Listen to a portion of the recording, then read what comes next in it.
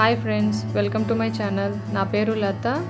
ఈరోజు నేను చేయబోతున్న రెసిపీ పొటాటో చీజ్ బాల్స్ అండి.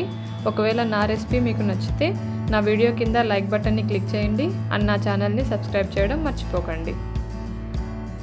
ఈ రెసిపీ చాలా టేస్టీగా ఉంటుందండి. ఇది ఒక స్నాక్ రెసిపీ. దీనికోసమని నేను ఫస్ట్ బౌల్లోకి త్రీ బాయిల్డ్ పొటాటోస్ని మ్యాష్ చేశాను. అండ్ దాంట్లో కొద్దిగా చీజ్ని గ్రేట్ చేసి వేసేసాను. చీజ్ ఆప్షనల్ అండి. వేస్తే వేసుకోవచ్చు లేకుంటే లేదు. అందులో కొద్దిగా ఆనియన్స్ ఒక గ్రీన్ చిల్లీ కొద్దిగా కొత్తిమీర. పచ్చిమిర్చిని చిన్న చిన్నగా కట్ చేసేయండి. కొద్దిగా కారం కొద్దిగా జీరా పౌడర్ కొద్దిగా గరం మసాలా పౌడర్ కొద్దిగా మిరియాల పొడి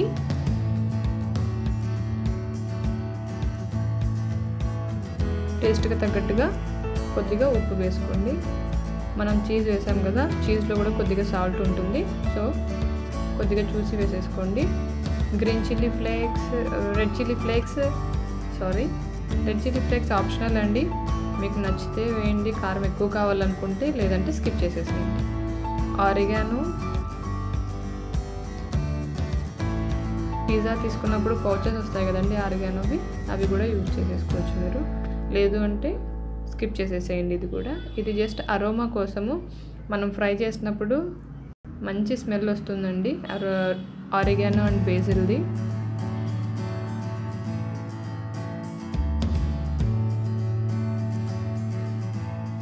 అన్నీ వేసిన తర్వాత బాగా మిక్స్ చేసుకొని చేతికి కొద్దిగా ఆయిల్ అనుకొని చిన్న చిన్నగా బాల్స్ లాగా తయారు చేసి పక్కన ఉంచుకోండి.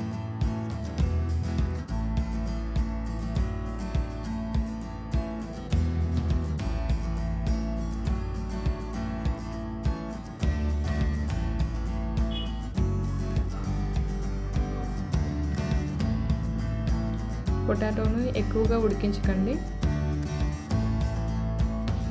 చాలా ఎక్కువగా ఉడికిందంటే అది చాలా మెత్తగా ఉంటుంది లోకల్ స్టఫ్ అనేది.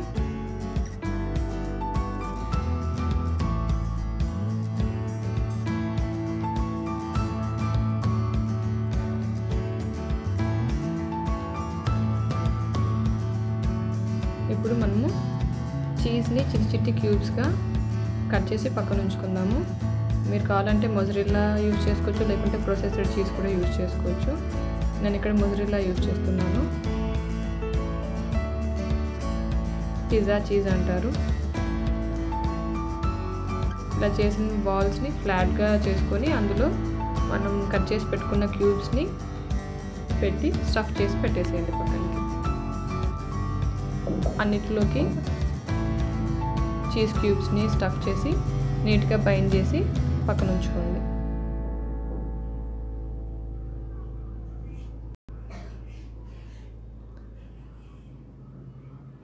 ఇప్పుడు బ్రెడ్ని తీసుకొని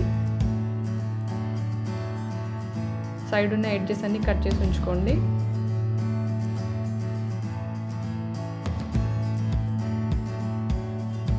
బ్రెడ్ మీద కొద్దిగా వాటర్ని స్ప్రింకిల్ చేసి బ్రెడ్ని బాగా తడిపేయాలి.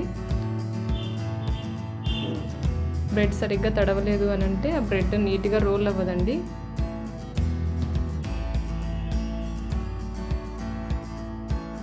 ఇలా నేను చేస్తున్న విధంగా నీట్గా రోల్ చేసి దాన్ని ఒక బాల్ లాగా తయారు చేసి పక్కన ఉంచుకోండి. ఇలా కూడా చేయొచ్చు.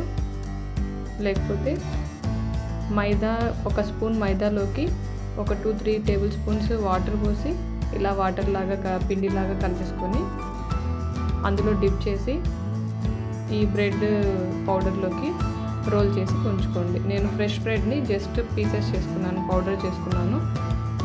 మీ దగ్గర బ్రెడ్ క్రమ్స్ ఉంటే అవి యూజ్ చేసుకోవచ్చు. లేకుంటే బ్రెడ్ టోస్ట్ చేసి ఆ టోస్ట్ చేసిన బ్రెడ్ని పౌడర్ చేసేసుకోండి. ఇలా మైదా వాటర్లోకి డిప్ చేయడం బ్రెడ్ పౌడర్లోకి రోల్ చేసి నీట్గా బైండ్ చేసి పక్కన ఉంచుకోండి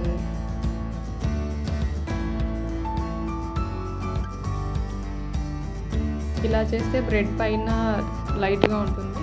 బ్రెడ్ లోపలికి రోల్ చేస్తే దాని లోపల బ్రెడ్ లోపల స్టఫింగ్ అనేది లో తక్కువ ఉంటుందండి. బ్రెడ్ క్రమ్స్లో రోల్ చేసామంటే ఆలు టేస్ట్ ఎక్కువగా ఉంటుంది.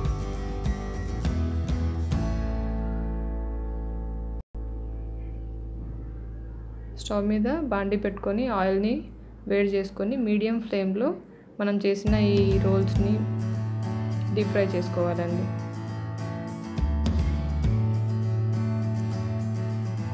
గోల్డెన్ బ్రై బ్రౌన్ అయ్యేంత వరకు ఫ్రై చేయండి.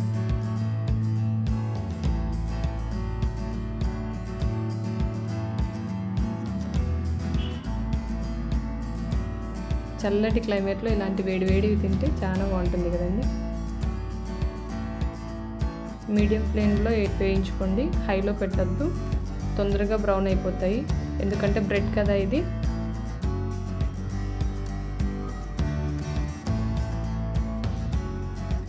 లో ఫ్లేమ్లో అస్సలు ఉంచకండి. లేకుంటే అందులోపల ఉన్న చీజ్ అంతా బయటకు వచ్చేస్తుంది. సో మీడియం ఫ్లేమ్లో పెట్టి ఇలా గోల్డెన్ బ్రౌన్ అయ్యేంత వరకు వేయించుకోండి.